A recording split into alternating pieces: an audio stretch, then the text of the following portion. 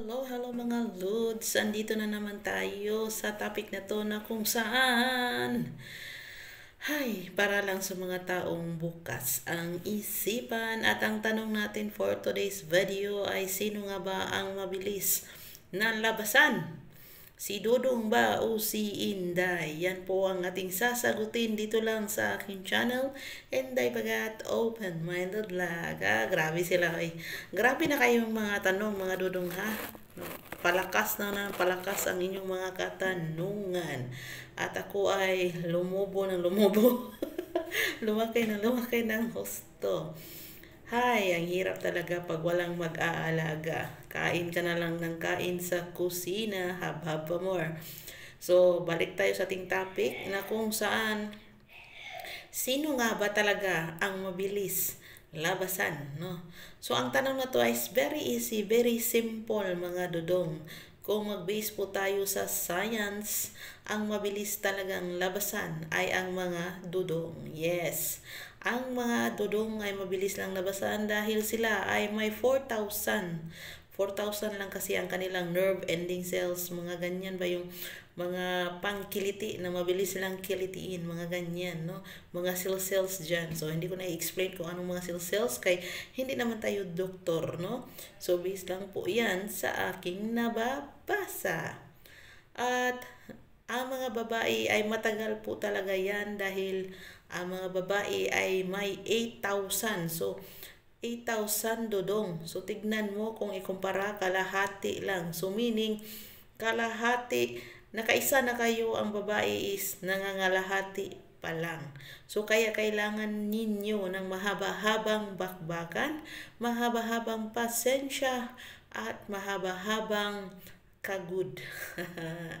no, of course, number one po talaga dyan is marunong kang mag-roleplay para mabilis naman labasan si Inday. No? Kasi nga, kami mga babae, ang tagal-tagal talaga naming labasan, no? At lalong-lalo na na hindi kayo marunong, no? Hindi kayo, hindi nyo nakukuha yung tamang templa kung saan ba ang dapat yung kalikutin, kung saan ba yung dapat ninyong haplusin para mas gaganahan pa o mas mai-enjoy pa no ng aming Coca-Cola Vare no? So yun nga mga dudong. Sana nasagot ko ang inyong mga katanungan dudong. Na in a simple way in a simple being wala nang pa ikot-ikot pa wala nang pa ano-ano pa dyan na mabilis lang naman sagutin na kayo talaga mga dudong ay ang mas mabilis kaysa aming mga babae, no? So kung gusto nyong mabagal at gusto nyong makapangalawa o makapangatlo muna si babae bago ka unang maputukan ay kailangan may technique at tips ka na dapat sundin at dito nyo lang mapapanood sa aking channel.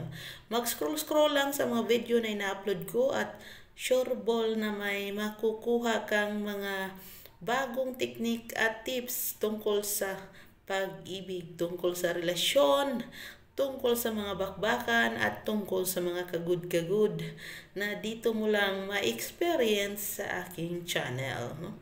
So, dodong, wag pong magsawang manood sa video na to at lalong-lalo na wag kayong magsawang sumuporta sa mukha na to.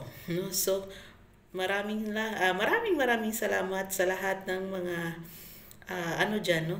Andyan pa rin, nanonood pa rin sa aking video uh, kahit ano na, pahina ng pahina ang ating video, wala nang ganong nanonood, di ko alam. Kasi nakita ko doon yung gusto nila yung sa yung ano ba talaga, yung i-differentiate talaga yung gusto nila. Pero bawal po talaga kasi baka mapalo tayo at uh, napakahirap gumawa ng ibang channel, no? So, pagtyagaan nyo na lang yung mga hindi ako gaano maka-explain. Pero kung gusto niyo kung i-message para doon ko ma-explain ng todo kung paano nga ba ang mga ganitong bagay, pwede niyo po akong i-message sa aking FB page. No? Inday Bagat, Open-Minded Vlog, walang iba. Or Mads, Mads, M-A-D-Z, Nay Gelat. Walang iba yan. Makikita nyo naman mukha, walang ibang mukha. Kundi ako lang yon ang inyong open-minded vlog na Chabilicious but Yummylicious and Daibagat. So bye for now.